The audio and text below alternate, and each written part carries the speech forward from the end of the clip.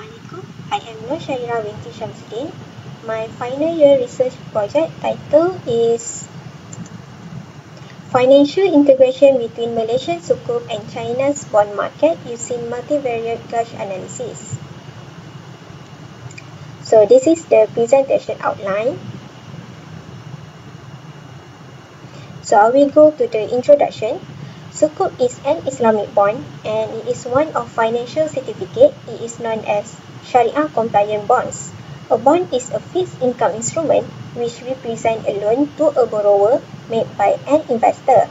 Sukuk represent an ownership to the asset while bond represent as debt obligation. So the problem statement, Islamic bonds are gaining attention from all over the world. This is because Islamic bond follow Sharia compliant. There are no riba and gara. Besides that, Islamic bond such as Sukuk has fixed interest rate.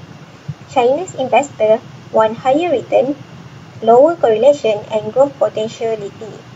China investors want to minimize the risk in investment so they seek diversification opportunities in financial integration of Malaysian Sukuk and China's bond market. The objective of study is to investigate whether Sukuk offer any advantages in terms of global diversification. The literature review, according to College Time 2017, Sukuk enjoy liquidity greater than their traditional counterparts. College Time said this aspect reduce the risk of liquidity as investors decide to sell their holdings.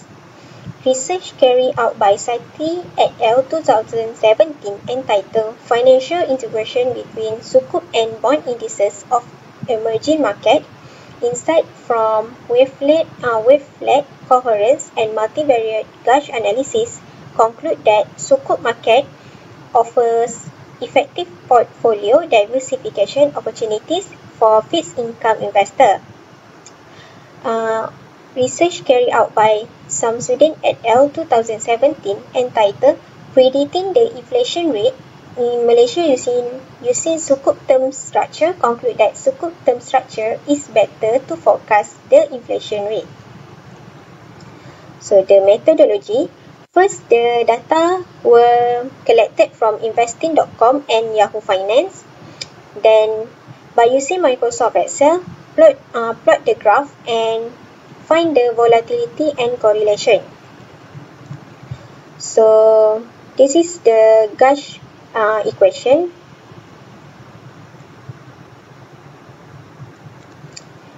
This is the standard residue uh, taken from the first stage and added as input to measure a matrix of correlation which varies in time.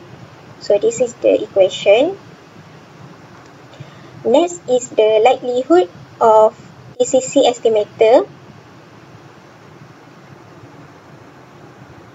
And finally is the standard return were employed by Angle 2002. So we go to the result. Uh, from the graph, we can see that um, Van Advertus China AMC China Bond ETF, or we call it C Bond, has uh, the return was up and down while M Dynamic Sukuk shows the return was down at initial but maintained constant after that. So from the Microsoft Excel, we can find the volatility for the C-bond and M Dynamic. Both bonds have low volatility. And the correlation between C-bond and M Dynamic also have low correlation. So, from the result, this research can be concluded that C-bond and M-dynamic sukuk can offer effective diversification opportunity for fixed income China investor investors because it has low volatility and low correlation between these two bonds. So the risks were low between these two bonds and the correlation uh, is low, so it will help the investor to diversify the asset. So these are the reference. That's all. Thank you.